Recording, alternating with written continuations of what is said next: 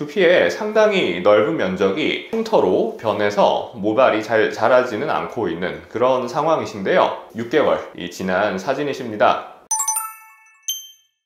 안녕하십니까? 뉴에어 부산의원 장태호 원장입니다.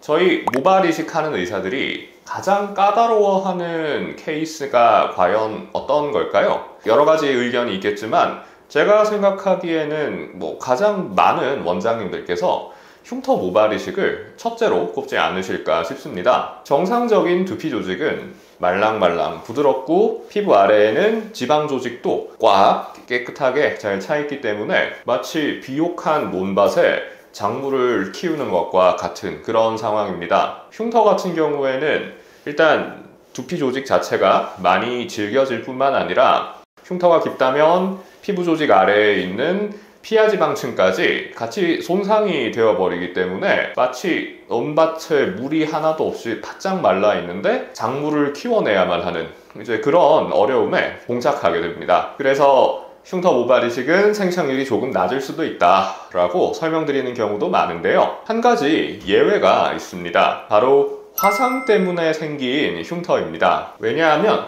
화상 흉터는 깊이가 깊은 경우가 많지 않기 때문입니다. 예컨대 두피에 화상을 입었다. 보통 어린 아이셨을 때 뭐 뜨거운 걸 엎질렀다든지 이런 경우가 많으신데 뜨거운 게 몸에 닿았다.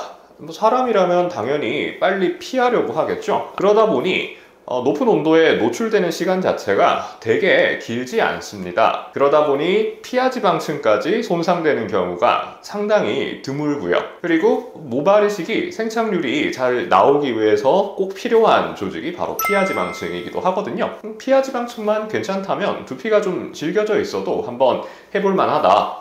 라는 게 제 생각입니다. 저희 뉴에어 부산 의원에서 두피 화상 흉터로 모발 이식을 받으신 분의 경과 사진입니다. 네, 수술 전 사진이신데요. 보시다시피 두피의 상당히 넓은 면적이 흉터로 변해서 모발이 잘 자라지는 않고 있는 그런 상황이신데요. 다른 흉터와는 다르게 아주 약한 솜털이나마 자라고 있는 것이 확인이 됩니다. 이게 뜻하는 것은 이분께서 화상을 입으면서 모낭세포가 많이 손상이 됐을 수는 있겠지만 최소한 그 모낭 을 먹여 살리고 support하는 피하지방층은 멀쩡할 가능성이 높겠구나 라고 저희가 예상을 할 수가 있죠.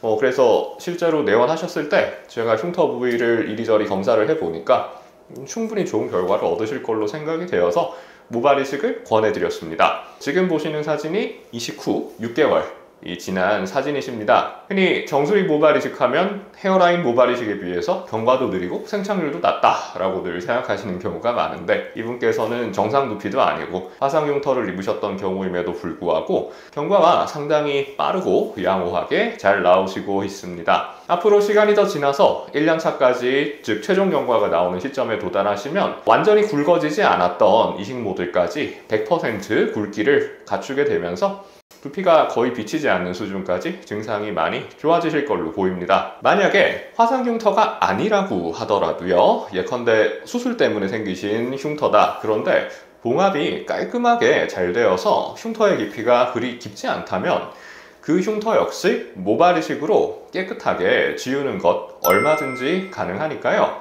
두피에 생긴 흉터로 고민하시는 분들이라면 고민하시지 말고 먼저 저희 뉴에어 부산에 내원하셔서 상담부터 한번 받아보시는 것 추천드리겠습니다. 감사합니다. 장세호 원장이었습니다.